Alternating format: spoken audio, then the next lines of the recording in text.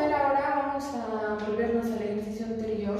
Como nosotros hemos visto, en el ejercicio anterior, nuestro residuo de dividir el polinomio nos sería n más 14 más n menos 4, ¿no? Si es que no has visto el video anterior, te voy a dejar el link en la partecita de abajo. Entonces, en mi ejercicio, a mí me decía, el residuo es 8x más 3, me decía así. Vamos a ver todos los modelitos de residuo que nos puede dar en este tipo de ejercicio, más o menos para que entiendas cómo se hace la igualación. Por lo tanto, ¿qué hemos hecho en el anterior ejercicio? Este es el primer caso de residuo donde te da polinomio completo. Polinomio completo. ¿Qué quiere decir esto? Que tú tienes tu residuo, lo anotas el residuo que tú hayas sacado en la división, ¿no?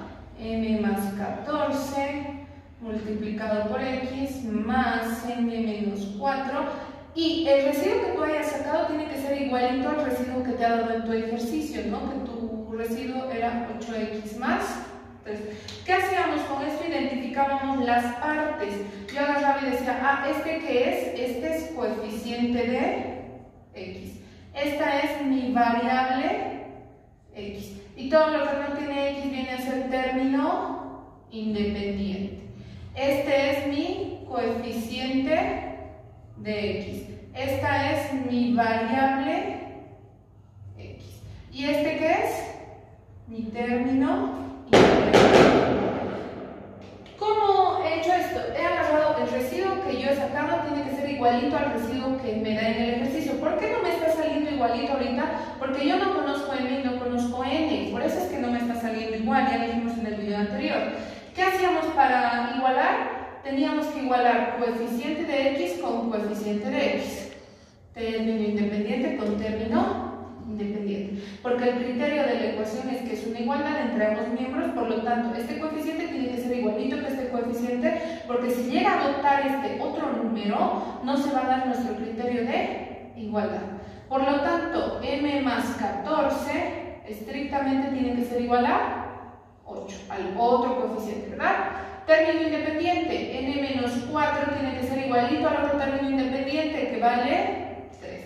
Y de aquí simplemente es despejar. ¿Para qué estoy haciendo esto? Más o menos para que vean los casos de residuos hay. Esto ustedes ya lo van a despejar en su casa, ¿sí? Vamos a ver el segundo caso.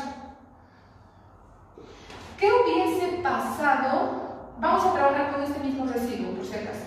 ¿Qué hubiese pasado si en el ejercicio me hubiera dicho tu residuo es 6?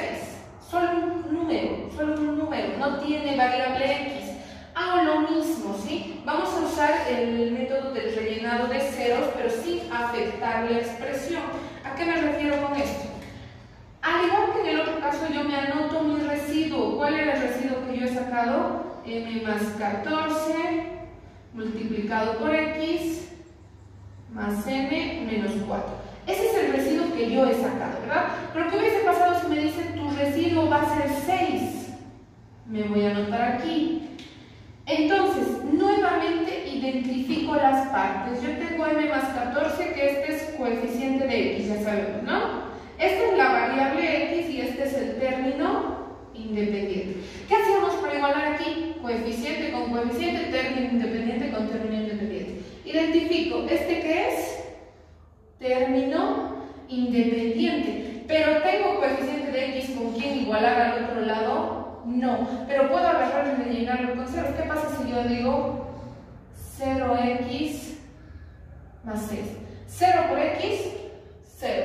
Más 6, simplemente 6. Entonces, si yo por comodidad y para igualarlo lo relleno con un cerito, este 0 ¿qué es? El coeficiente de x. La idea de llenar con los ceritos es que no alteren su expresión. Por lo tanto, hago lo mismo que he hecho aquí coeficiente de x con coeficiente de x, término independiente con término independiente. ¿Qué voy a tener? m más 14, el coeficiente de x, ¿cuánto va a valer? m más 14 va a valer 0. Acá término independiente, n menos 4. n menos 4, ¿cuánto va a valer?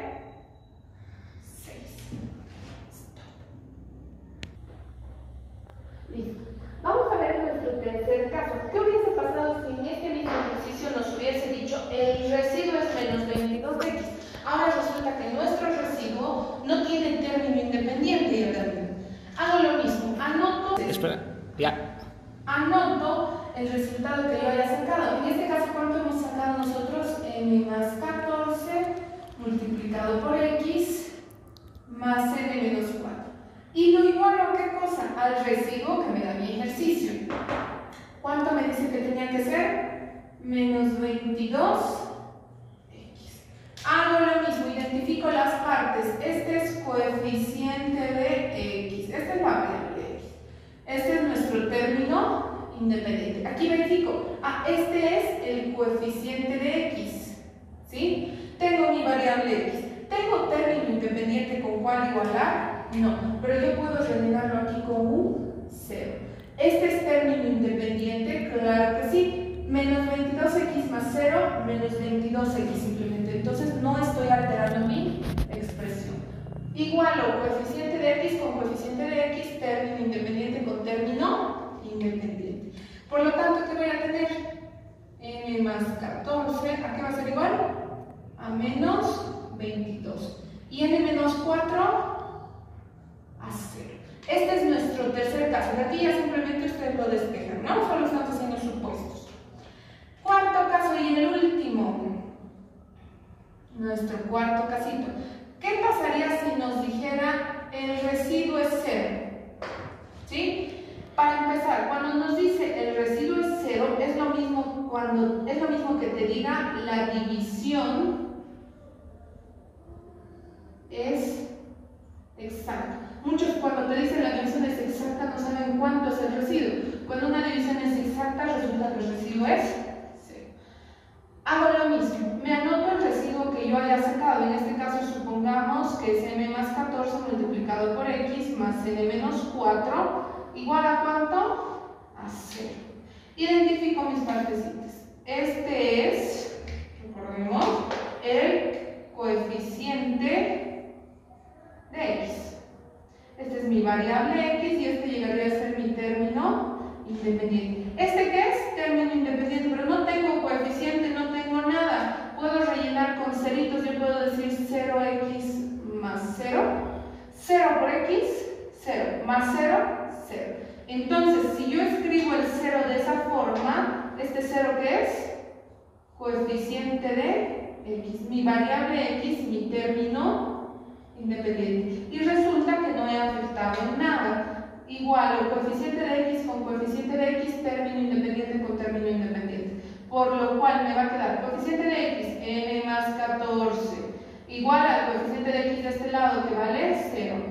N menos 4, término independiente que tiene que ser igual al otro término independiente que también vale 0. Entonces, resulta que estos cuatro son nuestros modelos de residuos. Depende en cuál tengas que usarlo y esta es la manera de rellenar con los ceros.